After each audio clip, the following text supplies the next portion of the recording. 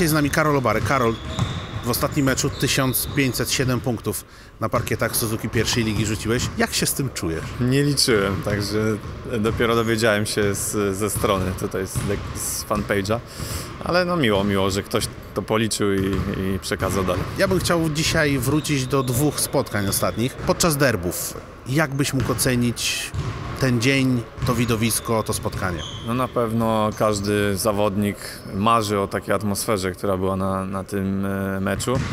Tak naprawdę święto koszykówki tutaj w Pelplinie, e, super atmosfera dla każdego zawodnika, to jest dodatkowa jakby motywacja na, na meczu, żeby, żeby walczyć, grać, e, pokazać się przed tymi kibicami i dla nich sprawić radość. To jest myślę, że najlepszy najlepsza nagroda dla, dla zawodnika, kiedy schodzisz e, po meczu i widzisz tych zadowolonych kibiców z, e, po tym spotkaniu.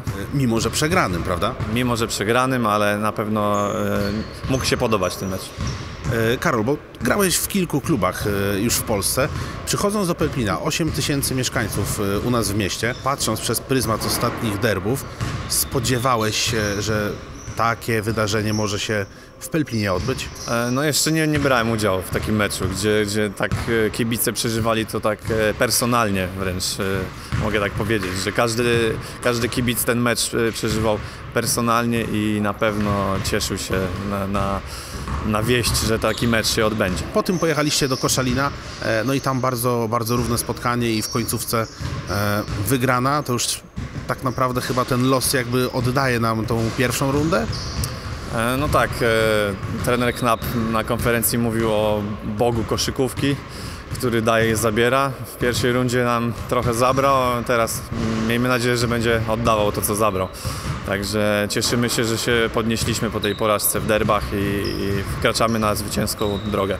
Na zwycięskiej drodze teraz y, naprzeciw nam stanie zespół z Krosna, z którym rozegramy spotkanie w niedzielę o godzinie 20. Jak wy się do tego spotkania przygotowujecie? Bo wiadomo, e, derby Koszalin, teraz Krosno. No nie ma za dużo czasu, także czyścimy głowy, skupiamy się teraz już tylko na Krośnie i... Gratulacje Karol wygranej. Dziękuję, dziękuję. I, i lecimy do Krosna po zwycięstwo. Piotr Winkowski dołączył do nas e, w ostatnim możliwym momencie w tym sezonie. E, jak ty jako kapitan byś ocenił jego przyjście do zespołu i to jaką rolę on spełnia?